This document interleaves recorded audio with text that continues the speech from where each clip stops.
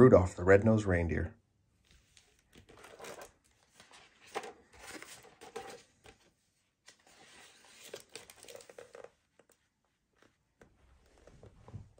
Twas the day before Christmas, and all through the hills the reindeer were playing, enjoying their spells, while every so often they'd stop to call names at the one little deer not allowed in the games.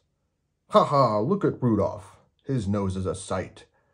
It's red as a beet, twice as big, twice as bright. While Rudolph just cried, what else could he do? He knew that the things they were saying were true. Where most reindeers' noses are brownish and tiny, poor Rudolph's was red, very large, and quite shiny. In daylight it sparkled, the pictures show that. At night time it glowed like the eyes of a cat. Although he was lonesome, he always was good, obeying his parents as good reindeer should. That's why on this day, Rudolph almost felt playful. He hoped that from Santa, soon driving his sleigh full of presents and candy and dollies and toys for good little animals, good girls and boys. He'd get just as much, and this is what pleased him, as the happier, handsomer reindeer who teased him. So as night and a fog hid the world like a hood, he went to bed hopeful. He knew he'd been good. While away, way up north, on this same foggy night, old Santa was packing his sleigh for its flight. This fog, he called out, will be hard to get through. He shook his round head, and his tummy shook too.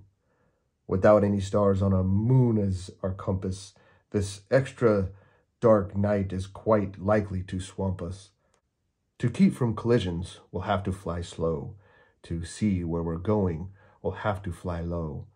We'll steer by the street lamps and houses tonight in order to finish before it gets light. Just think how the boys and girls' hopes would be shaken if we didn't reach 'em before they awaken.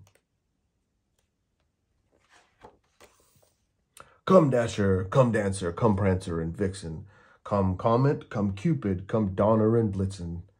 Be quick with your su super...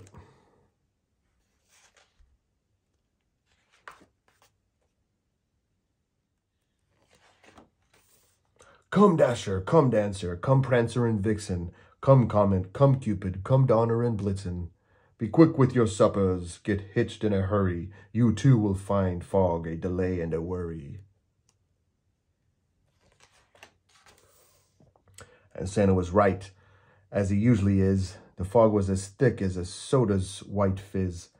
He tangled in treetops again and again and barely missed hitting a huge speeding plane. Just not getting lost needed all Santa's skill, with street signs and numbers more difficult still. He still made good speed, with much twisting and turning, as long as the street lamps and houses' lights were burning at each house, first checking what people might live there. He'd quickly pick out the right presents to give there. But lights will be out after midnight, he said, for even most parents have then gone to bed. Because it might wake them, a match was denied him. Oh my, how he wished for just one star to guide him. Through dark streets and houses old Santa did poorly, he now picked the presents more slowly, less surely. He really was worried, for what would he do if folks started waking before he was through? The night was still foggy and not at all clear when Santa arrived at the home of the deer. On the roof, with the clouds all around it, it he searched for the chimney and finally found it. Room he came down and was blacker than ink. He went for a chair, but it turned out a sink. The first reindeer bedroom was so very black. He tripped on a rug and burst open his pack. So dark that he had moved close to the bed and peeked very hard at the sleeping deer's head. Before he could choose the right kind of toy, a doll for a girl or a train for a boy.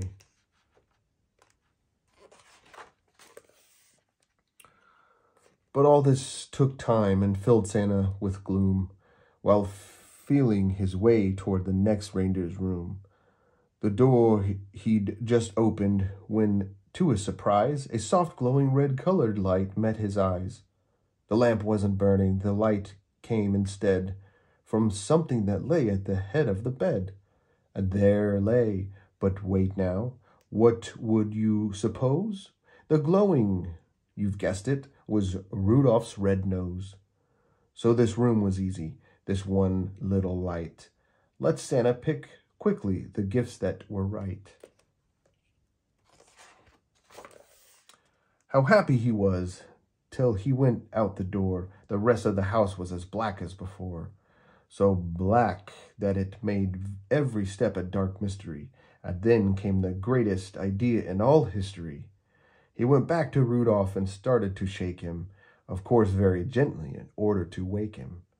And Rudolph could hardly believe his own eyes. You just can imagine his joy and surprise. At seeing who stood there a paw's length away and told of the darkness and fog and delay, and Santa's great worry that children might waken before he completes Christmas trip had had been taken. And you, he told Rudolph, may yet save the day. Your bright shining nose, son, can show us the way. I need you, young fellow, to help me tonight, to lead all my deer on the rest of our flight. And Rudolph broke out into such a big grin, it almost connected his ears and his chin. He scribbled a note to his folks in a hurry. I've gone to help Santa, he wrote. Do not worry, said Santa. Meet me in my sleigh on the lawn. You'd stick in the chimney, and flash, he was gone. So Rudolph pranced out through the doorway very gay, and took his proud place at the head of the sleigh. The rest of the night, well, what would you guess? Old Santa's idea was a brilliant success, and brilliant was almost no word for the way that Rudolph directed the deer and the sleigh. In spite of the fog, they flew quickly and low and made such good use of the wonderful glow that shone out from Rudolph at each intersection that not even once did they lose their direction. At all of the houses and streets with a sign on them, the sleigh flew really low so Rudolph could shine on him, to tell him who lived where and just what to give whom. They'd stop by each window and peek in the room. Old Santa knew always which children were good and minded their parents and ate as they should. So Santa would pick out the gift that was right with Rudolph close by, making just enough light. It would it all went so fast that before it was day, the very last present was given away. The very last stocking was filled to the top, just as the sun was preparing to pop. The sun woke the reindeer in Rudolph's hometown.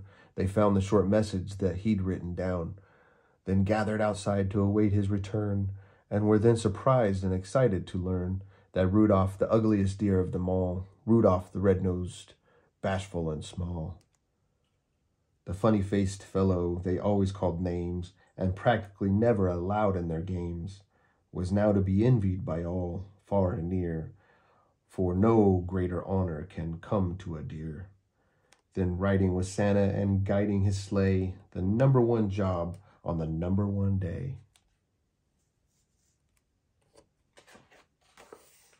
The sleigh and its reindeer soon came into view, and Rudolph still led them as downward they flew. Oh my, was he proud as they came to a landing right where his handsomer playmates were standing. The same deer who used to do nothing but tease him would now have done anything only to please him. They felt even sorrier they had been bad when Santa said, Rudolph, I never have had a deer quite so brave or so brilliant as you, at fighting black fog and at steering me through. By you last night's journey was actually bossed. Without you, I am certain we'd all have been lost. I hope you'll continue to keep us from grief on future dark trips as commander-in-chief, while Rudolph was just blushed from his head to his toes till all of his fur was as red as his nose.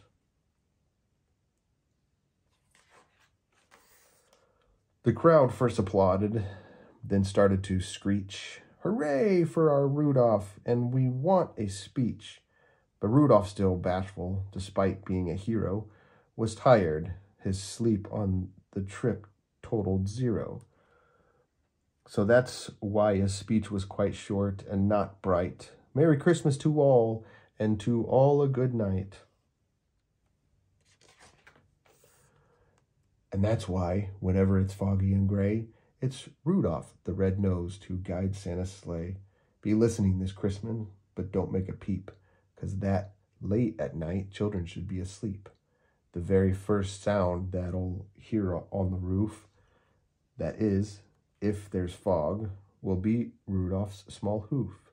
And soon after that, if you're still as a mouse, you may hear a swish as he flies around the house and shines enough light to give Santa a view of you and your room, and when they're all through.